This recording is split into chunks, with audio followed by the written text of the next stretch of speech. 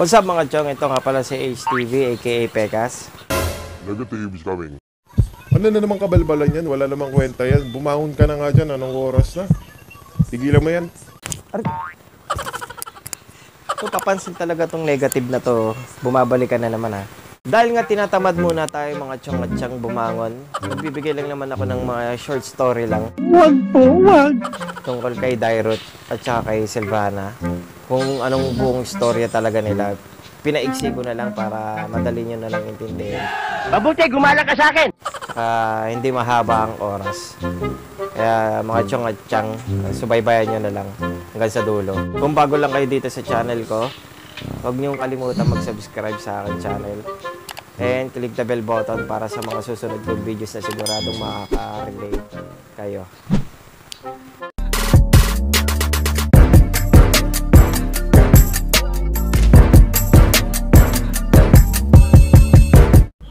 Patuloy pa rin ang digmaan laban sa kadiliman. Dahil nakasuot pa rin kay Dairut ang hiyas na konektado sa Munian Empire, ginamit ni Silvana ang kanyang kapangyarihan upang maliwanagan ang isip ni Dairut. Nagliwanag ang hiyas na nakasuot kay Dairut. Palakas ng palakas ang liwanag hanggang liwanag na lang ang nakita ni Dairut. Nakikita ni Dairut ang nakaraan. Nakikita niya ang pagsilang sa isang sanggol, ang prinsipe ng Monahean Empire. Hawak-hawak siya ng may pagmamahal ng kanyang mga magulang hanggang siya ay makatulog. Inilagay ang sanggol sa kanyang higaan habang ang sanggol ay mahimbing na natutulog. Biglang nagdilim ang paligid, dumating si Tamus. Ginawa ang sanggol upang madala sa Abis at gawing demonyo at prinsipe ng Abis. Pinalaki at tinuruan makikipaglaban. Habang pinanood ni Dairot ang nakaraan, napagtanto niyang siya pala ang sanggol.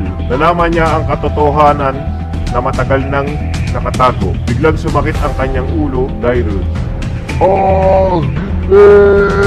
Habang sumakit ang kanyang ulo, nagliwanag ang hiyas na nasa kanyang katawan. Habang palakas ng palakas ang sakit, gayon din ang liwanag ng hiyas. Si Dairot ay nahimatay sa sobrang sakit. Habang nakabulagta sa sahig, pinalog siya ng puting liwanag. Nag-ibang anyo. Na siya sa mga Imperial Knight. Nagising siya at bumangon, nilapitan siya ni Silvan, Silvana. Kapatid ko, mahal kong kapatid!